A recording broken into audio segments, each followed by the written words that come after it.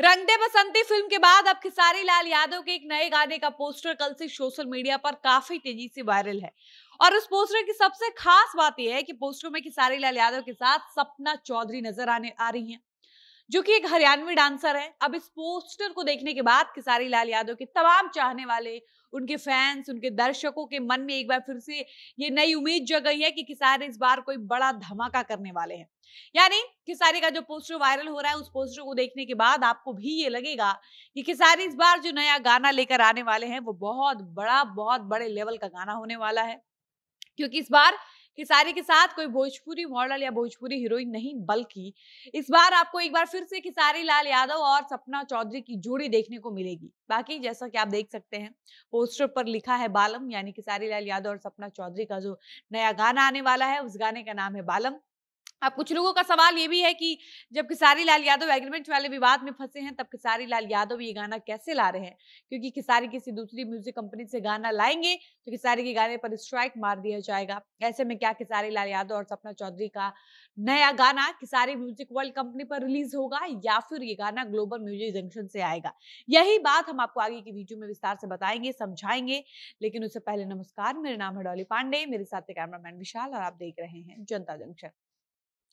करीब आज से 20-25 दिन पहले हमने आपको ये खबर बताई थी कि खिसारी लाल यादव का एक बहुत बड़ा, बहुत बड़े लेवल का, अच्छी क्वालिटी का बड़ा गाना आने वाला है और उस गाने में उनके साथ डांसर सपना चौधरी नज़र आने वाली है। हालाँकि ये कोई पहली बार नहीं होगा जब भोजपुरिया दर्शकों को खिसारी लाल यादव और सपना चौधरी की जोड़ी देखने को मिलेगी, बल्कि इससे पहले भी इन दोनों ने साथ में काम किया है।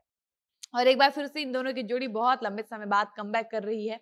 ऐसे में किसारी फैंस कहीं ना कहीं किसारी की इस गाने को लेकर बहुत ज़्यादा एक्साइटेड है और वेट कर रहे हैं कि कब किसारी का ये गाना रिलीज़ होगा। बाकी हमने जब आपको ये खबर बताई थी, उस वक्त हमने आपको ये भी बताया था कि इस गाने में किसारी लाल यादव की आवाज़ नहीं होगी। यानी किसारी का जो नया गाना आने वाला है, उस गाने में आवाज़ किसी और की होगी, लेकिन इस गाने में फीचरिंग किसारी लाल यादव और सपना चौधरी करेंगे। ऐसे में इस गाने को जेम म्यूज़िक हरियाणवी के ऑफिशियल यूट्यूब चैनल पर रिलीज़ किया जाएगा, ऐसा किसारी की करीबी यूट्यूबर्स की तरफ़ से बताया जा रहा है।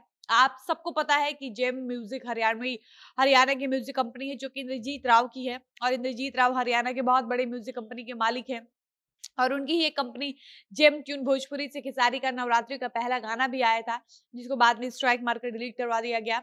अब आपके मन में कहीं ना कहीं ये सवाल हो सकता है कि ये कैसे होगा कि खिसारी अपने गाने में खुद ही आवाज़ नहीं देंगे? सिर्फ़ फीचरिंग करेंगे। तो आपको बता दें कि ऐसा इसलिए किया जा रहा है क्योंकि खिसारी लाल यादव किसी भी दूसरी कंपनी के साथ गाना लाने के लिए बैन कर दिए गए हैं। और खिसारी अगर गाना गा भी सकते हैं या किसी कंपनी को अपना गाना दे भी सकते हैं तो वो कंपनी ग्लोबल म्यूज़िक जंक्शन और खिसारी लाल यादव की कंपनी खिसारी म्यूज़िक वर्ल्ड है। और अगर खेसारी इन दोनों कंपनी को अपना गाना देंगे तो उस गाने से जो कमाई होगी, वो साझेदारी में होगी मतलब पार्टनरशिप में होगी। और खिसारी ऐसा नहीं चाहते हैं। वो नहीं चाहते हैं कि उनको अपनी कमाई का एक पैसा भी किसी और को देना पड़े, वो भी तब जब विवाद चल रहा हो। इसलिए खिसारी और उनकी टीम ने बीच का रास्ता निकाला और रास्ता ये निकाला कि खिसारी किसी भी कंपनी को अपना गाना नहीं दे सकते हैं, लेकिन फीचरिंग तो कर ही सकते हैं। मतलब खिसारी गाना गाने के लिए रोके गए हैं। लेकिन खेसारी फीचरिंग कर सकते हैं डांस कर सकते हैं फ़िल्म कर सकते हैं, कहीं स्टेज शो कर सकते हैं और इसी सबको देखते हुए खेसारी लाल यादव एक हरियाणवी म्यूज़िक कंपनी से नया गाना ला रहे हैं जिसमें खेसारी लाल यादव नज़र तो आएँगे। लेकिन उस गाने में खिसारी की आवाज़ नहीं होगी।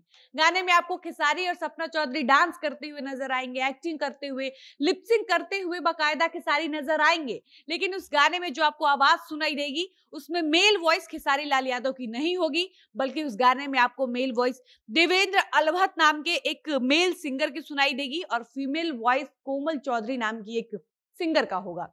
बाकी आपको पोस्टर में दिख रहा है कि किसारी लाल यादव काले रंग के कपड़े में अपने हाथ में हथियार यानी राइफल लिए हुए नज़र आ रहे हैं। बगल में बैठी सपना चौधरी के हाथ में भी एक राइफल दिख रहा है और ये देखने के बाद कहीं ना कहीं अभी से ये चर्चा हो रही है कि किसारी और सपना चौधरी का ये गाना बहुत कमाल का, बहुत शानदार, बहुत बड़े लेवल का गाना होने वाला है। बाकी किसारी फैंस को इस बात का इंतज़ार है कि किसारी का ये गाना कब तक देखने और सुनने को मिलेगा। तो इस गाने से जुड़ा कोई भी नई जानकारी, कोई नई अपडेट सामने आएगी तो हम आपको ज़रूर बताएँगे। वीडियो को समाप्त करते हैं, मिलते हैं नए वीडियो में। धन्यवाद।